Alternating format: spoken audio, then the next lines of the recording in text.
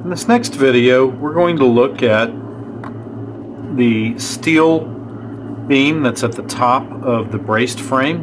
And I'm going to quickly sketch in our steel beam, and it is going to be 30 feet. I'm doing this at an eighth inch scale, which would be right there.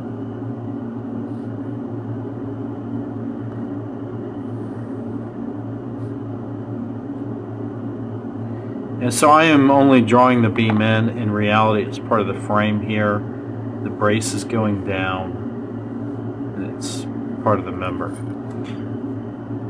And again, we had an ultimate load of one kip per foot, which would give us a shear diagram of 15 kips.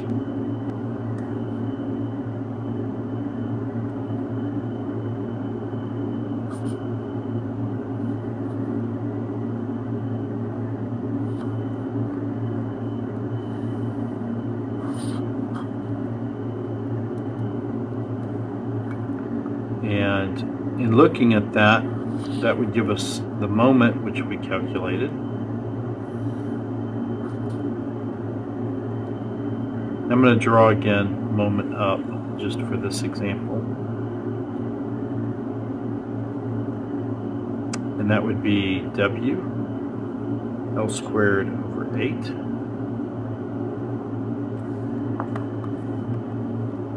W is 1 kip per foot. The L is 30 feet. 8 divided by which would give us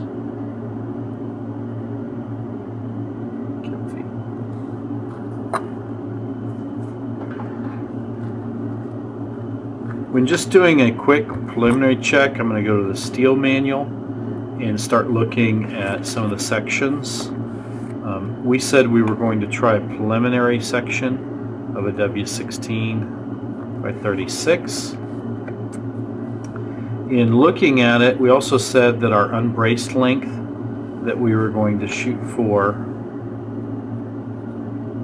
was going to be 5 feet on center and this has to do with the bar joist framing on top. And so what I want to look at here is go to a W16, the size of the member we're looking at,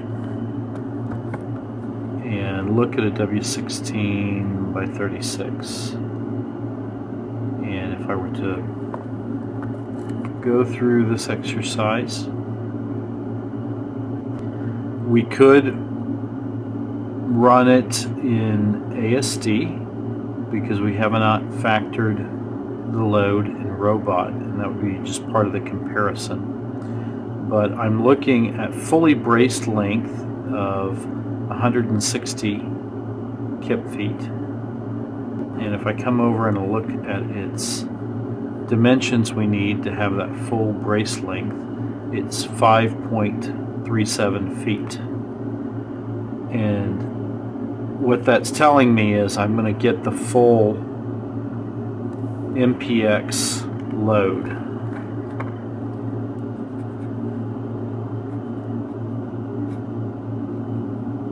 Or the factor of safety will be 160 feet. And that is greater than or equal to 12 kip feet. And so I'm, I'm feeling like that member size is a good place to start. This is not a detailed calculation of the member at all. We have not gone through how connections will connect to it. We haven't looked at deflections, if there were constructability considerations there. Um, what I will start with in the next phase is revisiting the column. I know from the preliminary structural analysis that the columns were very lightly loaded. And so moving forward, what we would look for would be a column that was a W10, but not 10 inches wide. The original column we used was a W10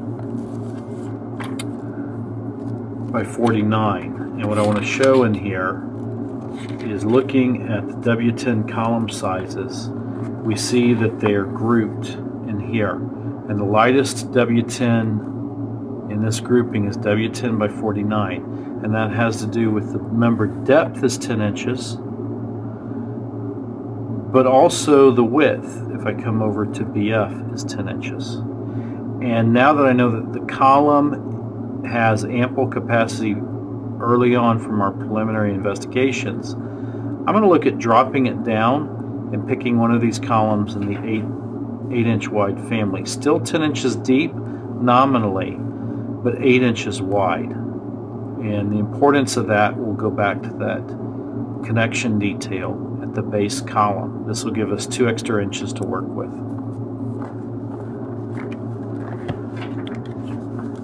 So for right now, as a placeholder, Put a W10 by 45 column to be verified. The reason we wouldn't go down to the W8 column family has to do with the connections and having room to fit bolts around it. Really, uh, the steel industry is currently recommending a 10 inch be the smallest column depth that we work with. That concludes this video.